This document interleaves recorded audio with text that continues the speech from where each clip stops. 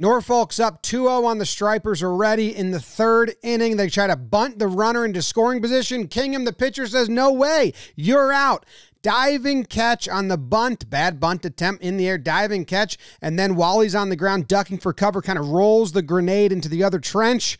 Double play. You missed that. And this is everything you missed that you never planned on watching. And today's episode is brought to you by Ridge Wallet. Bum, bum, bum, bum. Let's head to the X Games where 13 year old Arisa Trew from Australia is behind. 10 year old Reese is in first place. She needs a perfect run here to push herself into gold. And she's got a 720 in her back pocket that's never been done in X Games history, but she's done it before. She's setting up, she's getting speed, she's setting up. Here we go. And after this one, everyone's like, okay, here it comes. And bam, boom, right in front of Tony Hawk, who was the first to ever land the 900. That was huge when I was a kid. If you're like, what's a 720? Here, here it is. She explains it. 720 is when you come up the ramp backwards and spin two 360s in the air and come back down forward on your board.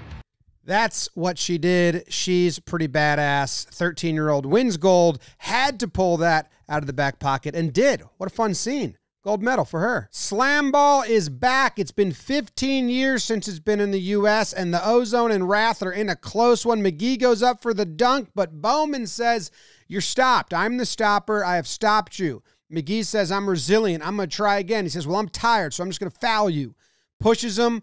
Ref calls it, says that's a foul. You can't push him at the waist like that. So then after the foul, we got another one going up for the dunk, and Bowman says, denied. I'm way taller than you and bigger than you, and bam, on the ground. But he does kind of fall on him in an awkward way.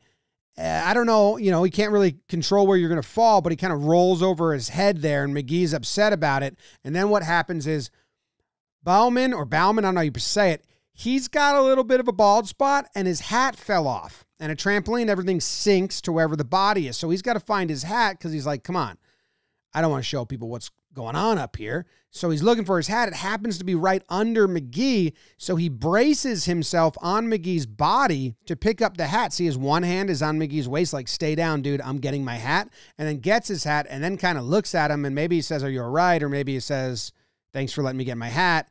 And McGee's like, Dude, you just landed on my head. Why are you going to stand over me like that? And then they get up to talk, and he's like, I didn't like that. And then he falls, and, and then he's like, All right, damn.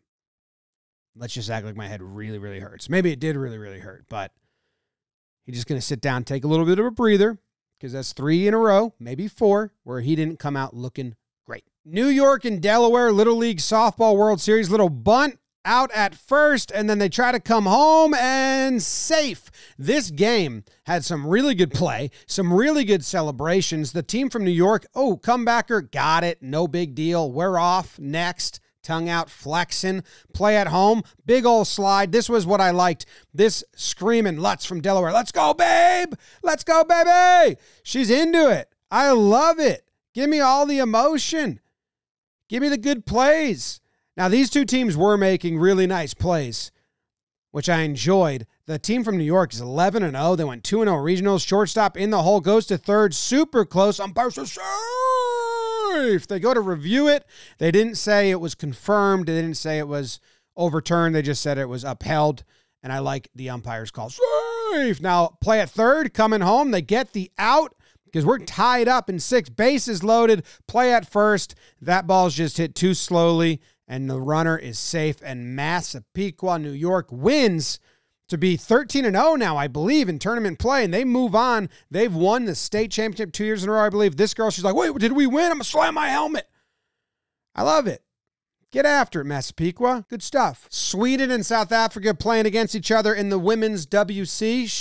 South Africa has never won a match. They're up 1 nothing at one point, thinking they're going to win. They're 54th ranked. Sweden's ranked third. Sweden's been playing really well, but in the 90th minute, it's tied up one apiece. Sweden has a corner kick, sets the ball up beautifully, put into the middle where it finds a nice blonde head because they're all blonde in Sweden, and then goal. Sweden and South Africa, whenever I see these international matchups, I'm like, hey, did they have any? What's the country's relationship like? Sweden, huge help, anti apartheid. They were early to it. They were like, this is bad. We're going to help. These guys are friends.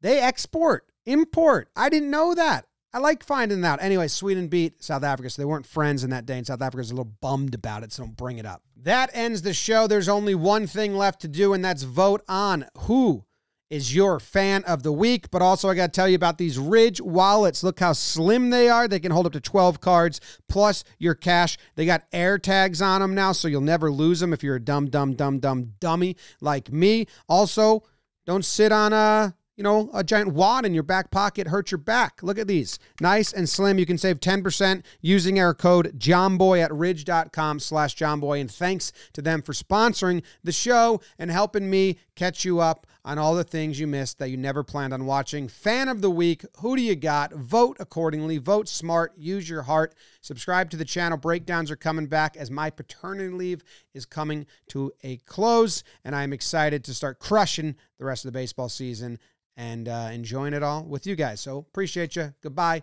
Farewell.